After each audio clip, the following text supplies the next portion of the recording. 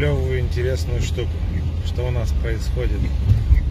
Нас подметают двойную сплошную и пытаются ее показать. Но, по-моему, безуспешно. Ее как не видно, так и не видно дальше. Но за старание, конечно, молодцы.